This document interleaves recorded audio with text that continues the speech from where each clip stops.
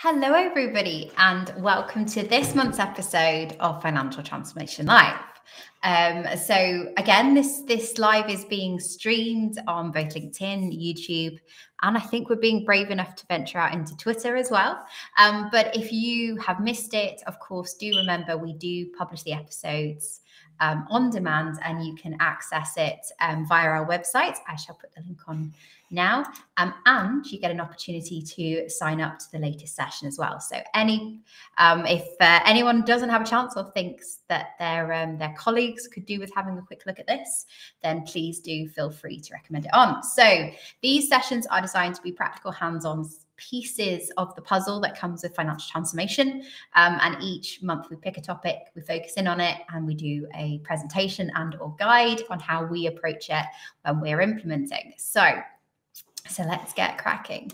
Um, so what are we going to cover today? So the first, so we are going to cover what a good chart of accounts looks like. So chart of accounts is one of these topics that either in most cases sends shivers down people's spine, but it's actually when you go into a new business, it's one of the first things you look at. So um, if you're listening to this live, um, please do say hello. Um, and um, but if you have ever seen a chart of accounts that makes you recoil in horror, in horror, I should say, um, then you know, um, clap your hands, tell us, um, tell us about it because it is such a common problem. Um, and I'm going to talk to you about how that problem occurs, why it happens and almost how how do we start um, afresh and how do we build a chart of accounts that is future as future proofed as possible? Now you'll notice the caveat in that as well. So we'll talk about um, you know when is the point we need to think about what you're doing. Um, so we're going to talk about what does a good chart of accounts look like? Um, we're going to talk about the key signs that you need to think about redesigning your chart of accounts um, I'm actually going to take you through a basic framework. Um, so I think that is one of the things that um, people don't have is a process to go through when they're um, when they're designing their chart of accounts. So we're going to cover that, and I'm going to give you some top tips. So um, so hoping you guys are all with me. Hello, thanks for saying hi on the chat. Um, so hi Simon. Um, so please do um, keep your comments, your thoughts, your questions coming through part of what we want to do here at um, Financial Transformation Live, CFO 4.0, and obviously with the team at ITAS is to build a community of people going through transformation because sometimes it can feel like you're on your own and you're not. You know, finance is changing dramatically. Transformation is one of the biggest um, shifts that is happening. And in order for finance to thrive, we need these skills embedded within our finance teams, which is why we are doing this session.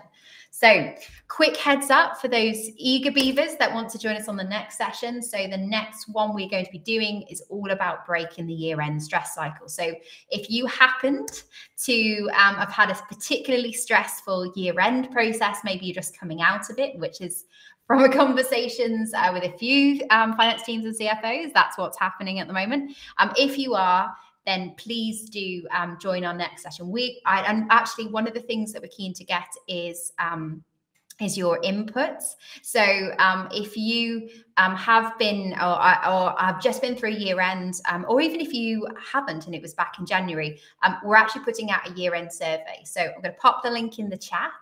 Um, and if um, you guys want to attend, obviously the next session, uh, the link and the download link and the next session link is on the um, is on the, the, screen now. You'll see at the bottom, there's a link to our website. We'll pop the link to the um, to the next session and we'll put the link to the survey in um, and we'll share the results. So please, we want as many people as we can to share um, their their their their um, their assessment of how year end works, what the challenges are, so we can make that that session as productive as possible. So hello, we've got quite a few people now joining us. Wonderful. So we've got I, am gonna I'm gonna apologize in advance for any pronounce your names. um, I'm uh, I'm terrible with reading names, but Azizul, lovely to see you. Akmal and Kashaf, wonderful to have you with us. So, okay, so let's actually get started with today's session and let's get some learning in. So, um, for those of you that haven't joined um, one of these sessions before, um, my name is Hannah Munro. I am MD and Transformation Lead at ITAS. So I've actually been working um, on transformation projects for well over 10 years now. Um, and one of the things I've seen both um, obviously out in customers and actually weirdly enough with other consultants is a lack of proper framework around how things are thought about. So I want to share some of the tools that I use and I have used um, across the years to drive this transformation. Um, you know, we are a say we are basically a transformation consultancy that's specialized in Sage technologies. So we work with the Sage range, everything from Sage 50 to Sage 200 and Sage Intacct. But this particular episode, I have one slide that gives you some guidance if you're using a Sage product, but everything else is product agnostic. And that's really important to me that you can come away from these sessions with some practical um, tips and tricks to approach it. So so let's start with what does a good chart of accounts look like? So a good chart of accounts. So um, it, it's really hard. Is that you, I tend to know by looking at one, what, you know, whether we've got a conversation to have about redesigning on a on a project or or whether it's um, whether it's a, it's going to do the job. So um, so the first thing we're looking for is is it flexible? So is it meeting the is it able to to meet the needs of your stakeholders, right? And and I think one of the challenges is people see the chart of accounts as only being required for finance, and it's really really not. Um, so all of your management reporting, all of your regulatory reporting, and actually your internal departmental and operational reporting very often is driven from the the the chart of accounts. So it's really important that we we understand that and we take that into account. So can it meet the needs of multiple stakeholders and their reporting requirements? Is it scalable? No.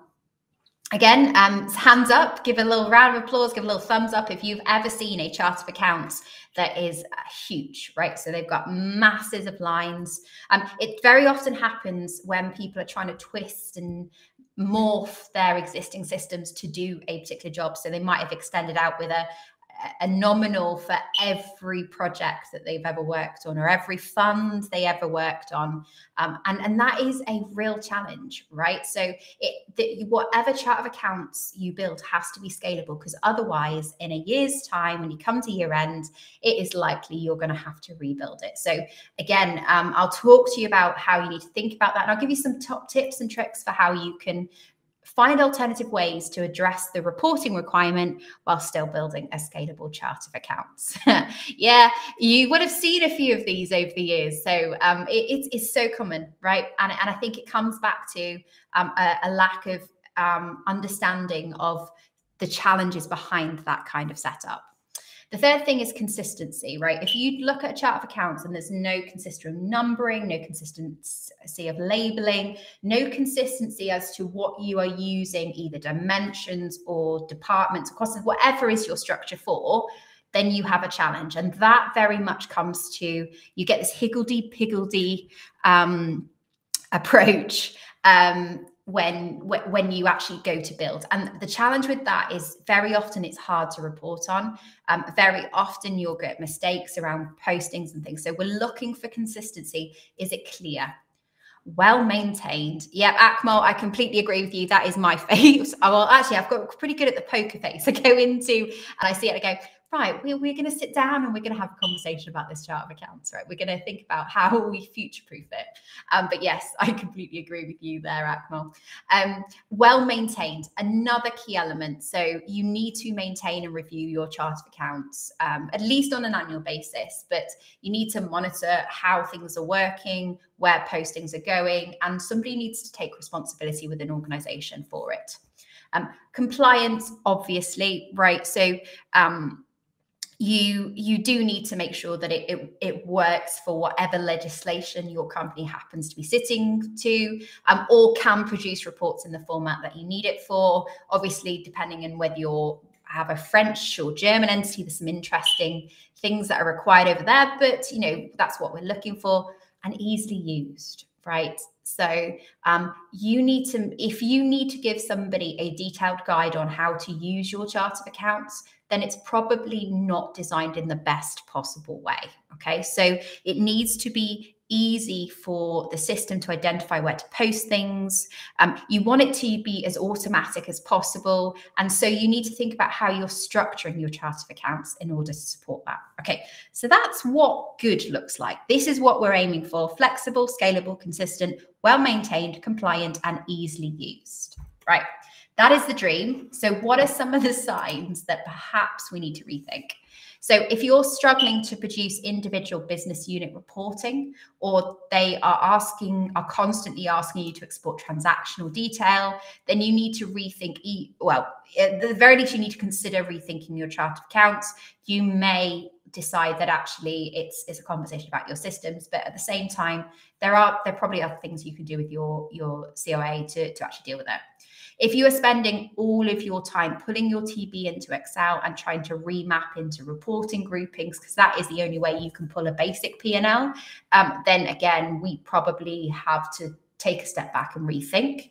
I, you know, and those that know me will know that I'm not a fan of using Excel for reporting. For me, it's an absolute last resort. Um, but um, again, you should be able to do a comparative to your P&L for quick reconciliation purposes um, in your system as well as outside. And, and if you can't do that at a minimum, then there's probably an issue with either your setup in your system or your chart of accounts. Um, we talked about this before, but you know, pulling if if you're spending if all your team are spending their time exporting transactional data and trying to build v you know v lookups and uh, pivot tables off that data, then again we need to have a rethink. Um, if you are noticing consistent and repeated mispostings that you are having to correct, if um, individuals are struggling to know where to post things, then there is something not quite right. You know, um, identification of where to post should be driven either by the system or it should be really easy for people to to know where to post elements so you just need to you need to understand if that's an education piece or you know um, or if it's a structure piece. And what generally what i find is some it can sometimes be in between but a good chart of accounts makes it easy to identify. So you've got good descriptions good nominal numbering structures that support well you know um, easy posting of um, elements even journals um, if you have no space, so um, to add new accounts, um, so you know we talked about maintaining. There are times where you need to add new accounts. It shouldn't be on a regular basis. If you're doing that, you're do not quite doing something right.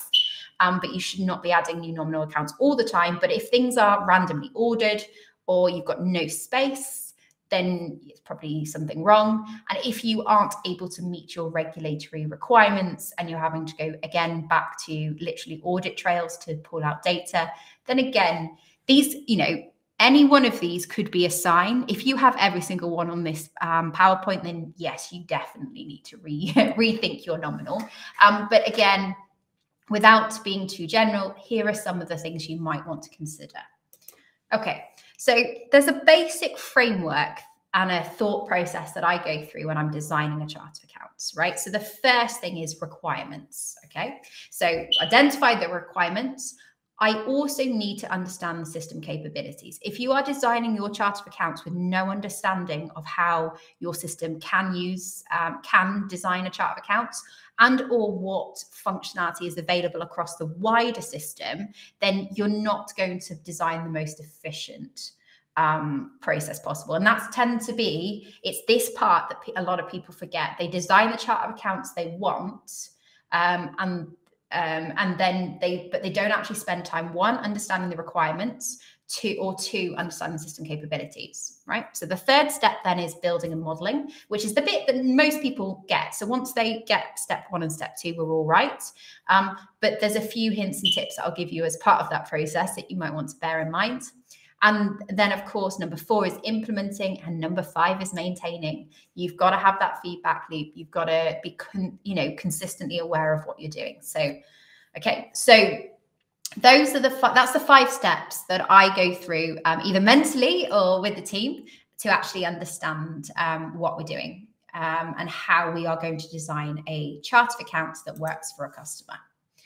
So, the step one, identifying requirements. So, the three minimum, and this is minimum, okay, there are kind of three minimum things that you need to get requirements for, right? So, you need to think um, about your management accounting pack. You need to understand how you're grouping, um, how you're, what is the lowest level of detail that you go to on a line level. Um, and you need to understand your regulatory reporting, whether you've got covenants that require things in a certain format, whether you've got legal reporting, which is either legislation specific or um, you know other other you know maybe you're part of a industry that's highly regulated you need to work within a certain boundaries. Um, you know charities have a very different structure to obviously in terms of a chart of accounts normally to a standard setup. Um, business unit reporting as well. So this again this is where some very often um, finance teams fall down is they don't actually go out and speak to the wider business about what they want. They assume that what they're delivering is is sufficient. Okay, and then things like COVID hit and requirements change and or requirements are no longer fit for purpose. So um, your um, so those are the kind of the minimum areas that, or the minimum focus areas that I would work on. Now, there, there may be other requirements that are required. Again, depends on your your business and your business type but that's the minimum. And then for each of those you need to understand what you have now. So what is the reporting you're currently producing? Um, what is it that you anticipate you might need in the next um, 18 to 36 months? Um, and of that report how do you want to slice dice and drill down? Okay so people forget to ask to drill down. If they just want to go to transactional data, then that's doable. Um, but actually, um, you need to make sure you're really understanding the requirement. Even get them to map it out or give you a little spreadsheet with what they'd like to see. Um, and you you kind of want to visualize it if you can at all possible. So that which is easy if you've got existing reporting. Not quite as easy if um, you're doing more of a blue sky exercise with the team. So, so thinking about all those things, um, and the reason this is the first step. So, a lot of people will build a chart of accounts first and work their way back. So they'll take a template, which is can be used, and I'll tell you when you should compare against a, an example chart of accounts, but not at this first stage. Before you build backwards when it comes to a chart of accounts, the first question is how do I want to display this information? What do I want to report on? And everything else follows. Okay. So, step one, figure out your requirements, particularly focused on reporting. Okay. Now, step two, and again, this is an area that people don't quite go wrong on, is they'll design the chart of accounts before they've understood their, their system capabilities.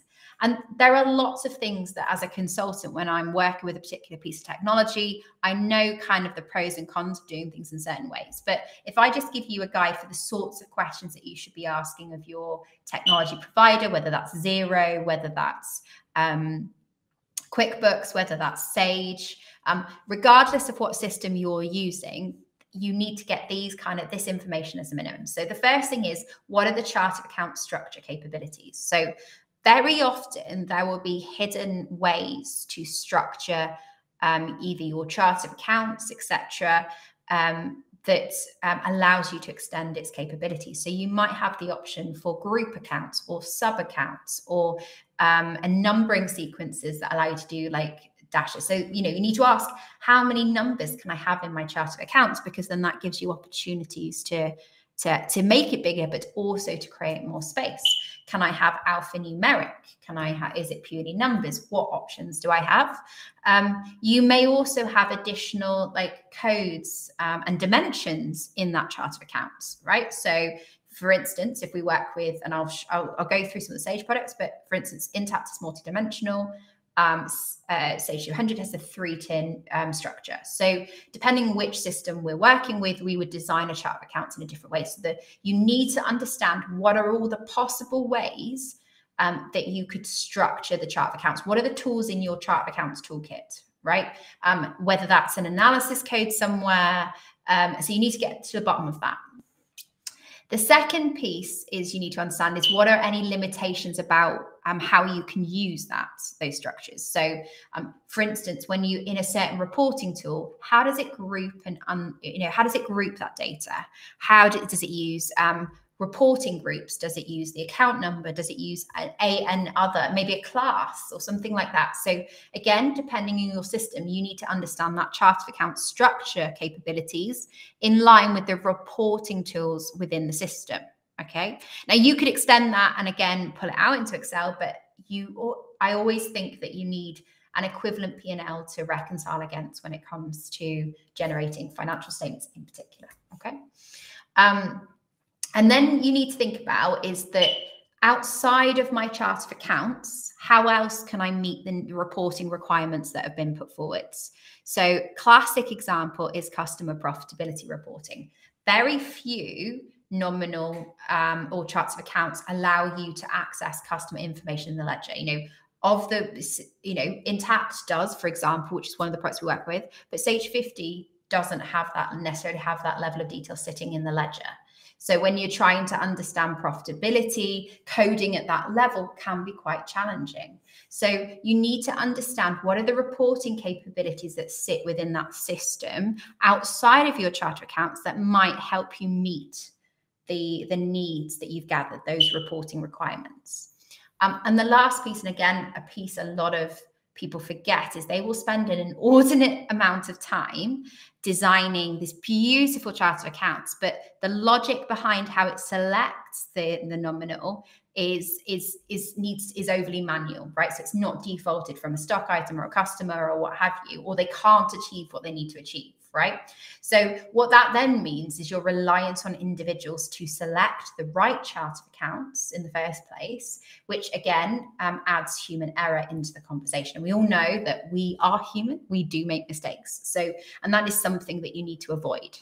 Um, the other thing which I haven't got on here is understanding inputs and outputs. So for each piece of reporting that you're looking to place in terms of slicing and dicing, how are you going to get that data into the right chart of accounts? Because there can very often be limitations. Um, and, I, and I thought, you know, and whilst I don't want this session to be about Sage, um, I thought I'd use the three different products that Sage have in terms of Sage 50, Sage 200, and Intacct from a to talk about these four elements right? So but the principles um, and these questions are things you should ask of your existing software provider right? So whether that's Xero quickbooks whatever it is that you're using. So so for example if we look at the chart of account structure across the three so um, Sage 50 does actually give you a pre-built out of the box chart of accounts, right? What a lot of people don't know is that you can actually start from scratch um, it actually uses account ranges to group on your P&L. Okay, so when you're designing your numbering structure, you need to leave space. You really, really need to leave space and you need to be clear about where those ranges are hitting. Um, I think off the top of my head, it's four digits. I don't think we have any stretch on that. Um, but you can build custom lines on the P&L layouts. Again, another mystery. So um, and it does have a consolidation option, but it only consolidates balances, right? So, so those are the restrictions that I would be working in when I'm designing my chart of accounts. Um, and I also have departments that I can tag transactions on. Okay, if I'm shifting up the track, I know with 200, I actually be looking quite differently. So I have a three tier nominal. I know I have an account code, a cost center and department. Um, standard P&L layouts, they group by reporting category. So, you know, that's where I need to make sure I've got my groupings nailed. It actually has no relation, weirdly enough, to the numbering, which gives me a lot more flexibility. Um, and I also know that every single combination of account, cost, and department is theoretically a different nominal. Okay, so again, that gives me some flexibility in how I build out my reporting structures. Um, I also know that there is a nominal analysis code period. So if piece, so if I'm looking to pull out some weird and wonderful reporting that doesn't quite fit in line with my standard management accounts, I know that I can do some other groupings with those analysis codes and pull information out in that way. Um, and I know that I have both a custom and an automated consolidation, which actually goes to two tiers um, when I consolidate. I can make three, but it's a little bit messy. Um, um, and less automated. Okay. And I know that I can have a different chart of accounts per company. Personally, I don't like that. I think it causes confusion, especially in multi, you know, big acquisition groups and big groups of entities, but you could think about it. So what I'm doing here is not um, trying not, you know, not to advertise. Obviously, um, I'm these features as a as a wow look at this but it's actually about understanding the limitations of the software that you're looking at right so um, and if we go to Intacct completely different way of working right? It's multi-dimensional. So you post a transaction the customer the project stock item all goes into the nominal. So you can imagine the size of the chart of accounts, the complexity of the chart accounts changes really dramatically as we go through each of those different phases. Okay, so this is your first question is what capabilities do I have with play with? And make sure you ask somebody that genuinely knows what they're talking about. Because um, if you speak to somebody who's used 50 for years, they will often tell you that you have to use a standard chart of accounts. I've heard it um occasion you know on occasion and i actually went to our consultants and asked the question and actually it's amazing what will come back if you speak to somebody that actually knows the the technical capabilities of the software so that is my first shout out before you start designing get an understanding of what you can play with the second thing is to think about where else you can get this reporting from. So, project reporting is a classic. So, the amount of times I've seen chart of accounts where they have a combination of nominals per project or um, and where they have a three tier nominal um, they might even have account like a group of accounts per project and it is just horrendous right and it expands and it's not scalable because very often once you post to a, a nominal account you can't deactivate it because it's got history. So then you have to you know you have to then reset every three to every three years because you've just created this monster. So genuinely um, really think about is this a chart of accounts reporting conversation or is this somewhere else? So projects modules are a classic across all systems and you can see the different projects options we've got across 50 200 and Intacct. even with projects it will there are differences in the level of reporting and detail you can get. And the one caveat and the one question you need to ask yourself is how do I correct it if I've misposted to a project? Because that is where 50, for instance, is a bit weaker than say something like 200 or Intacct because we can journal to a project. So do thoroughly examine those capabilities if you're going down the project route. Basic customer and costing reports are very often able to be produced within um, within the ledgers, within either your sales order processing or your invoicing module, or even your sales ledger. Um, because very often there'll be custom fields, for instance, on a customer or a supplier or a stock item that you can use to then get out, for instance, business units or source and things like that. So just just don't limit yourself once you've got your reporting requirements. Don't limit yourself to your chart of accounts. Um, and then you need to understand your reporting tools. Again, for those that are interested, I've put the ones that are available in 50, 200 Intacct.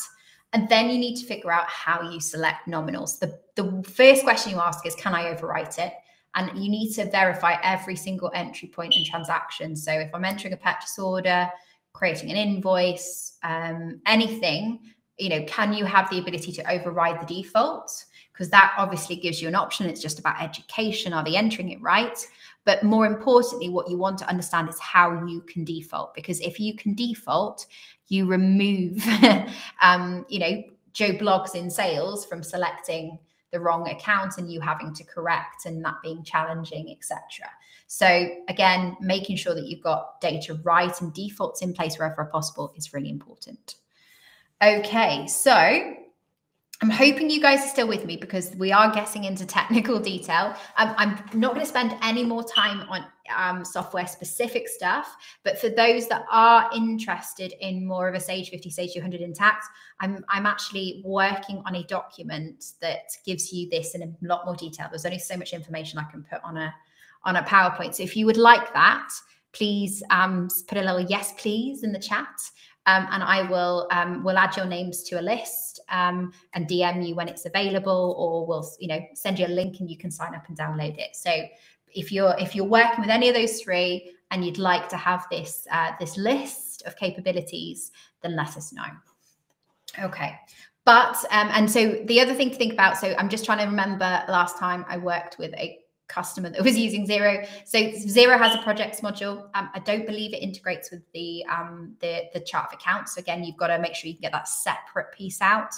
Um, there is um, I think they have some, I can't remember how they pull um, the structures in, um, but I do believe they have departments and things as well. So apologies. Um, um, if you are desperate to know what Xero can do, let me know. I do have a, a few friends over the fence working on transformation projects with Xero. I will pick their brains. Um, so yeah, so um, if you if you want Xero, you need to write Xero, please. And I'll do my very best to get some information. And uh, well done. Thank you, Sophie. Um, she's going to put, she's put on a link if you want to request it. But for those that have already commented, we will send that through.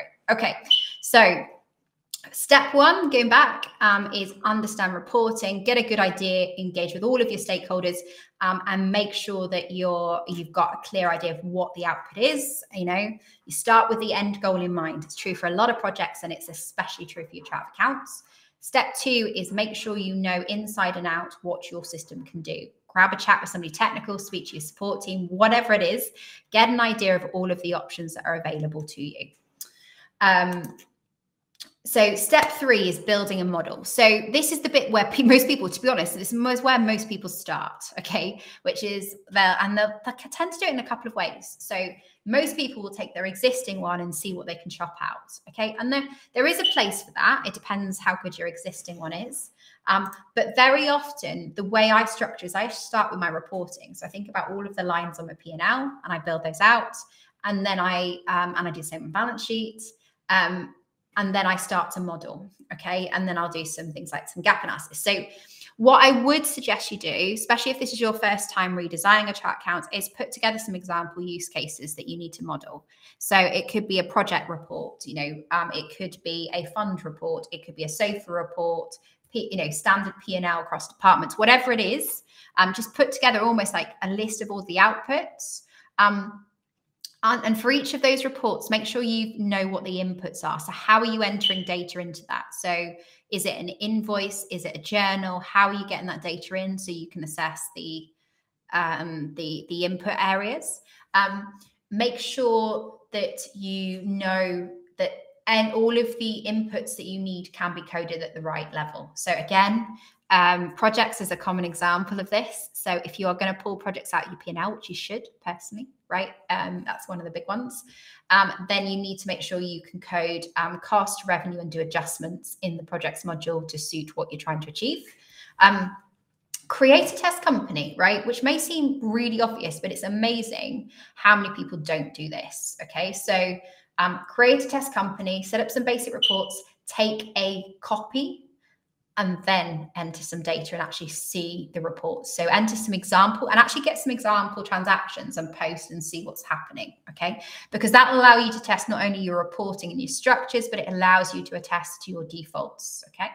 Um, and the reason we take a copy before is that if for whatever reason you need to make one small adjustment, you can start again with that freshly designed chart of accounts um, and take a take two okay? Especially if you don't do this for a living because it's hard you know? Um it can it can make even us consultants think yeah and um, building out chart of accounts and trying to think about how that's going to appear. So you know um that's a really good way especially if it's either your first time or you've got some weird and wonderful reporting requirements it just gives you an opportunity to really sense check everything. Um then I do a gap analysis. so then what I'll do is I'll take um I'll take it to be honest, I do two gap analysis. So I'll think about what does your existing one like and have I got the mapping? And I'll and there's a reason for that later, which you'll see. Um, you know, have I missed anything? Um, and then the um, the next option is then to do it with an example chart of accounts. Now, very often there will be an industry specific example because, for instance, a subscription based business would have a very different chart of accounts to a not for profit, for example, or a standard business, right? If you're stuck, Sage 50 as an out of the box one, that's always a great starting point. If you're using Sage 50 for charities, there's an NFP version. Um, again, we are going to be pulling out some example charts of accounts for different industries. So again, if you'd like that, um, pop in a little note um, and we'll, we'll we'll do our best to feed this back. You know, depending if there's if there's hundreds of you, then I might need to put a link out. But um, let us know, and you know, if it's useful, we will share it because again, this is all about helping you guys enable yourselves to do this work. So, um, so we've done our gap analysis. We've compared against our existing chart of accounts and we've compared against an example chart of accounts. just to make sure we've missed it, nothing, right? And then the big question you need to ask yourself is um, Am I overcomplicating what I'm doing, right? If you have to explain to somebody how you've put together your Excel reporting on the back of this, i.e., I take the first two digits of that one, I take the last three digits of the explanation, and that's how I've got my report. There is something really, really wrong. So either you've not designed the chart accounts well, or your system is not fit for purpose, okay? And you don't have the right finance tool for the job. Um, and which is a really hard conversation to have. I've had to have it occasionally. Um, I always try and work within the systems that I've got when I'm given a project, but very, very often, um, well, very often, um, very pretty actually no i would say very often when i've seen horrendous charts of accounts it's because either somebody's gone crazy or they've not followed this process i'm talking about or it's because um, they've not got the right um, system. So if you get all the way through, you've done a really good job of understanding requirements, of understanding your system capabilities, and you still end up with an absolute mahoosive chart of accounts that needs constant maintenance. Um, and uh, yeah, um, Zach Moore will say, um, and sure will agree with me that you you are you are actually going to have to stay, stay take a step back and either change your reporting requirements and have that very frank conversation with the wider stakeholders, or you're going to have to review what you're doing. Okay. So, a um, couple of ones I just want to point out. So, um, there's always the odd um, account that slips through the nets. This is again why I suggest doing those two gap analyses. You know, just to make sure you've ticked all the boxes. Um, suspense people forget about. Um, you need one in there. there is going to be stuff that goes wrong or missed posting, especially if you're trying some new logic. So make sure that you've got it in there. Um, remember your interco on both sides. Most people are pretty good at the interco on the balance sheet. Sometimes they forget what's happening if they're selling intercompany products on the P&L. Um, exchange differences, really common one. Bank charges, really common one for people to forget. Um, you need to think about how you're managing your bank accounts. I always suggest, if possible, a different nominal per bank account. Um, but you need to think about that in terms of how that setup's going to work. Um, and then your basic control accounts, like are you going to have different debtors and creditors accounts? If so, how do you default that logic? Because otherwise you can end up in a mess. Um, your tax defaults, all those kind of things. So just make sure you've ticked all these boxes, which I'm sure you will if you've done a proper gap analysis, but don't forget these ones. Okay, so we're doing all right for time, guys, um, but I am going to have to speed up as I'm not sure I'm going to get through everything. So step four is the implementation side. So prepare your mappings and your splits before you attempt migration. So, what do I mean by that? So, when you migrate um, and you start afresh, you're going to have to import your opening balances. Do not, on the day you're migrating your opening balances, have your start doing your mappings. Okay. So, firstly, um, if this is a really great opportunity to understand um, if you've missed anything. It's like it's almost like a, a, third gap analysis, right? You're just checking to make sure you know where everything's going.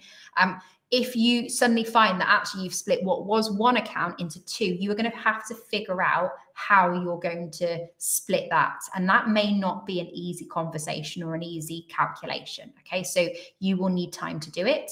So the ones you're looking for, the easy ones are when you're going, you know, from one either one to one or two to one right? So when you're you're consolidating two accounts into one that's that tends to be easier from a mapping perspective.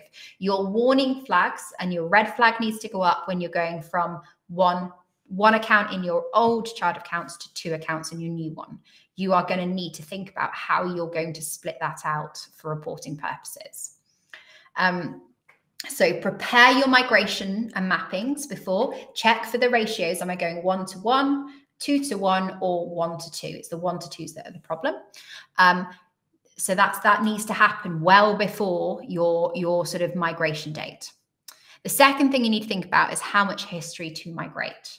Um, if and you know at all costs you want to avoid transactional migration. I have never had anyone I've spoken to, and you know, this isn't us doing migration, but having spoken to people that have been through this kind of migration, whether it's by a tool, whether it's um, by a um, you know by consultant or by imports and exports that have said oh wow that was super nice and super easy right? Transactional migration is incredibly challenging especially when you're changing your chart of accounts right? Because it, it has all sorts of impacts. So you want to pull across the minimum amount of information to achieve your goals okay so you might say that actually my minimum goal is i need to be able to pull a P&L this year versus last year. Great. Okay. Do you need to do it on a month by month basis? Yes. Okay. So our minimum goal is month by month nominal movement.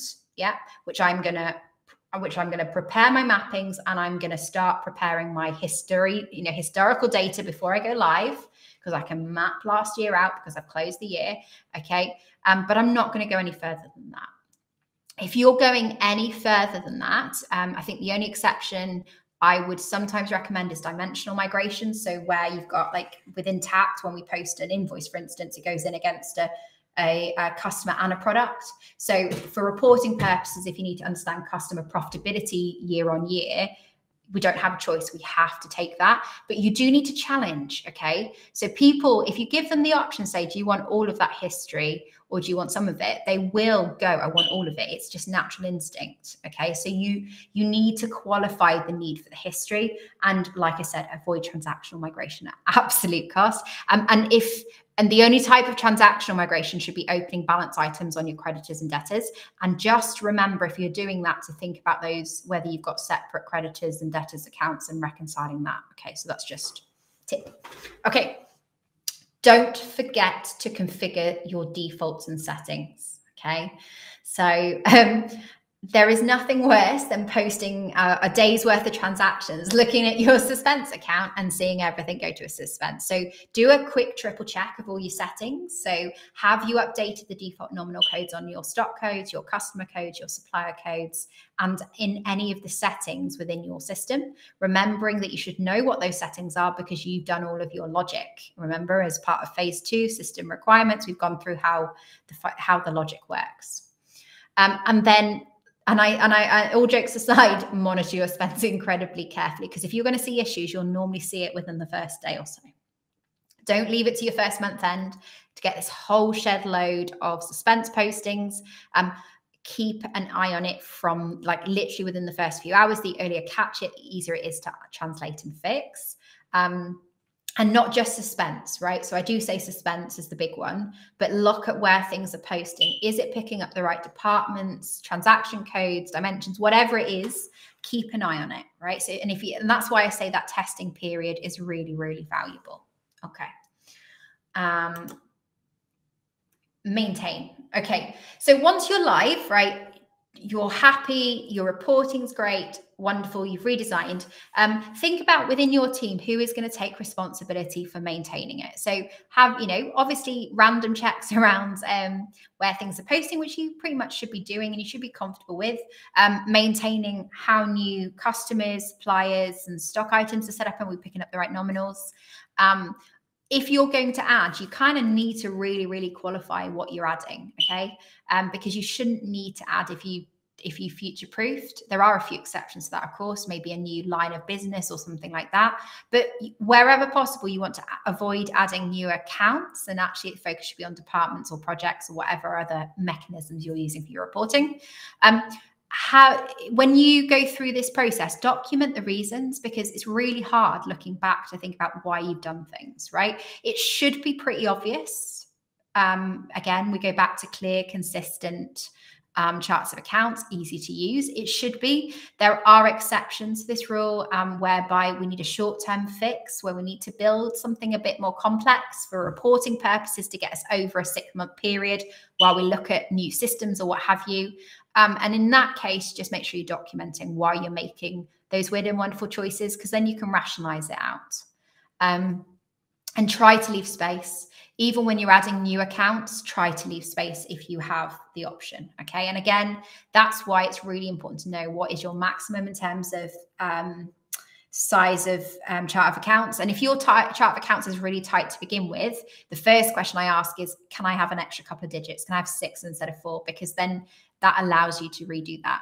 Oh, and one tip I didn't tell you when you're doing your numbering, do your numbering last Okay, so build out all of your chart of accounts, give rough numbers, but then go back through, design your entire chart of accounts, and then do your numbering sequences. Don't try and do it from the beginning because then you end up redoing it like five times. So it's just not worth it. Okay, um, so that's maintain.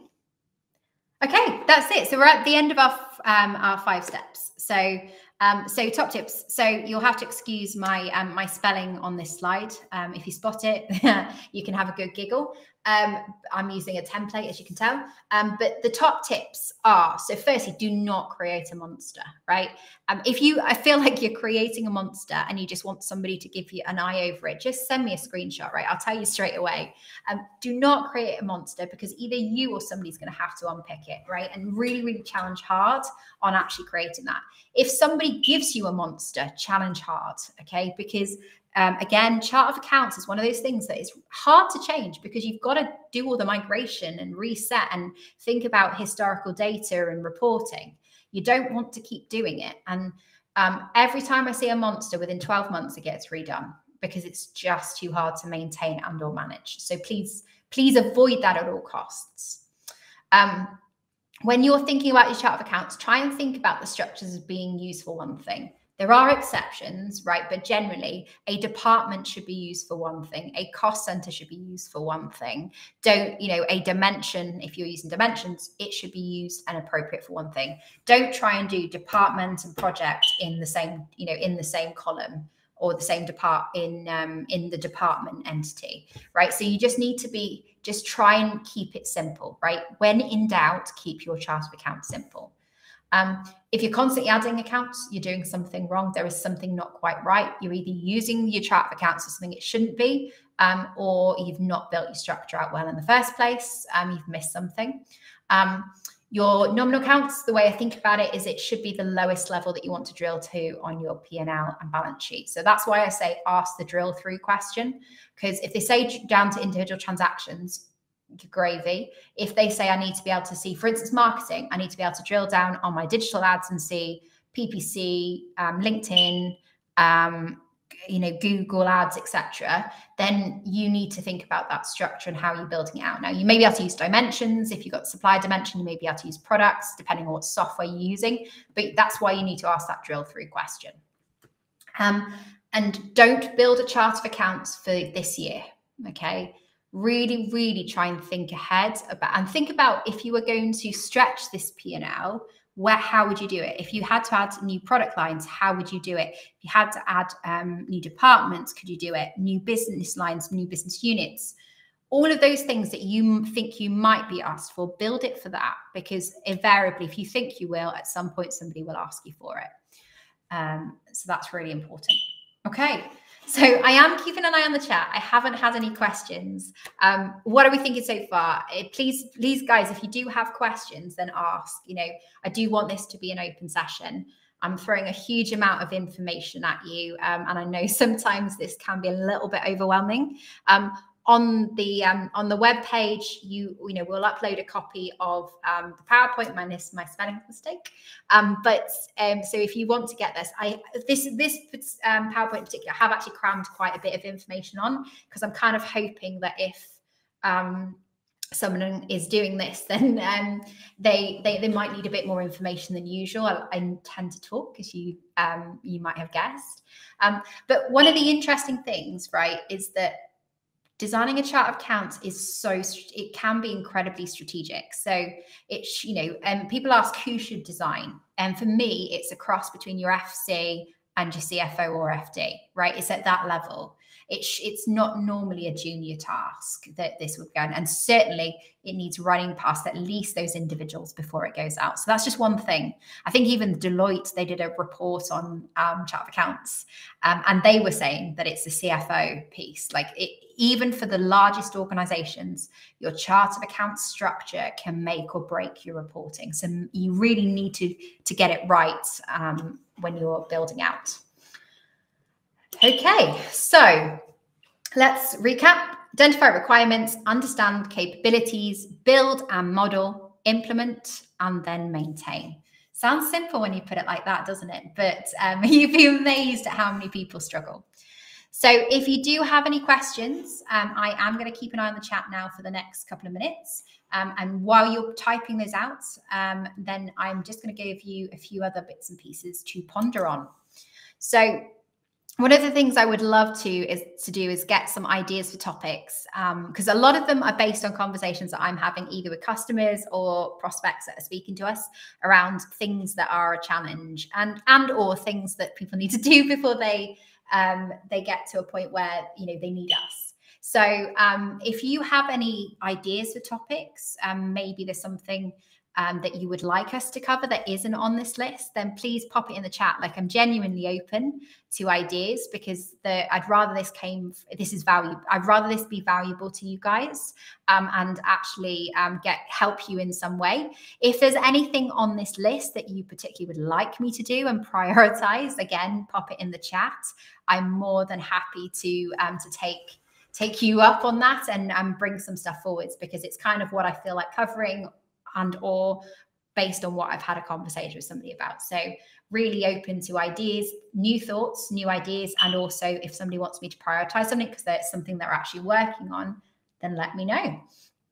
Um, so current suggestions is it the process or the system doing an internal review of your finance system um, calculating and communicating roi is hard right so we talked about that and how do you do it um, designing and planning software integrations because I do a lot of that. Um, so that was one of the ones that came up, and putting together requirements documents. Like I've seen, I've been.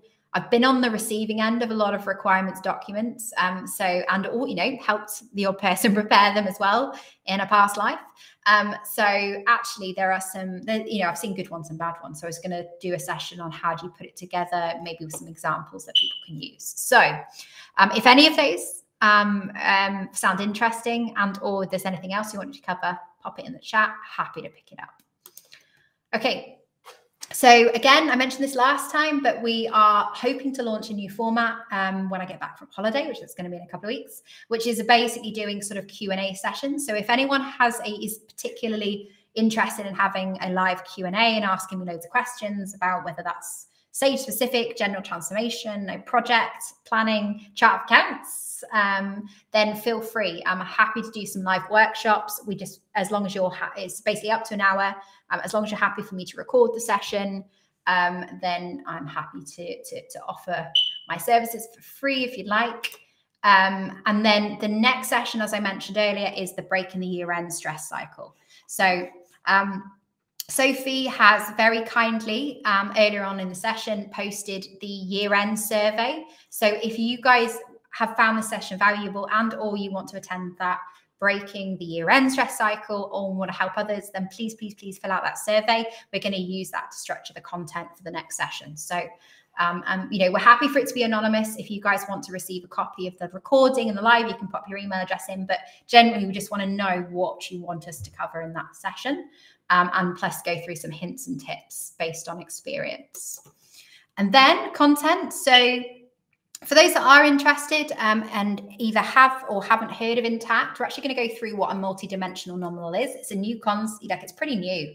Um, a lot of the um, accounting software out there still uses the old three-tier nominal structure. You know, we work with software that still does, um, but um, Intacct has this, and I, I, love it from a reporting per, um, purposes. This is amazing. So yeah, so if you're interested, I'm going to be doing a webinar on how that works why it's different and what you can do with it.